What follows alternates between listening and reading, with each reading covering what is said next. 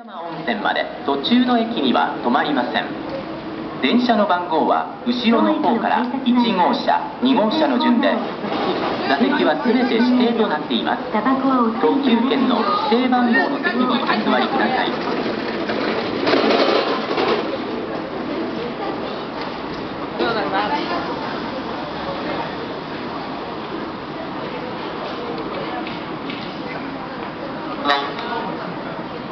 5番乗り場28発、伊豆山温泉行き、臨時特急サマーライナー到着いたします。県鉄の黄色線の内側までお下がりください。